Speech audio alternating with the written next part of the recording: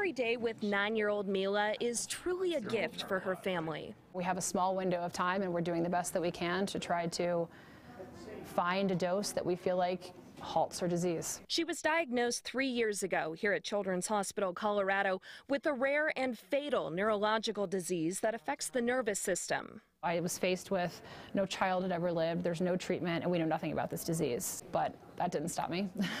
Can you feel the towel in there? Julia Vettorello spent the next year raising over $3 million and sharing Mila's story to try and save her daughter. Her efforts catching the attention of Dr. Timothy Yu out of Boston Children's Hospital, who developed a treatment in less than a year that specifically targets Mila's genetic mutation. I think that's actually what's really unique and groundbreaking about Milasen and about Mila's story is that not only was it possible to develop a treatment for a single patient, but the timeline in which it was done. The drug, Milasen, named after the Boulder girl. She's the first person in the world to receive an FDA approved drug created for a single person. I'm not holding her a lot right now. Mila now receives her treatments at Children's Hospital Colorado. Vettorello says there's been noticeable improvements just in the last year. We saw really complete stabilization and quite a lot of improvements, like way less seizures and holding her body up well and eating really well and laughing and smiling. You're my sunshine, my only sunshine.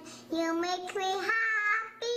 But she says the sad reality is this treatment may have come too late for her daughter. She just turned nine years old, um, you know, a week or so ago, and she's not supposed to live past 11 or 12 years old. So I'm fighting for her, but I'm also really aware that everything that we've done for Mila is going to be for something much bigger than her. Doctors believe this precision medicine has the potential to help children with other rare diseases by making slight alterations to the drug to tailor it to each patient. Mila's Miracle Foundation now trying to raise money to finance a team of doctors at Children's Hospital Colorado that can work on making the treatment more accessible to other families. There is no lack of children that could be helped with treatments like Mila's, and there is no lack of excitement and interest in Children's Colorado.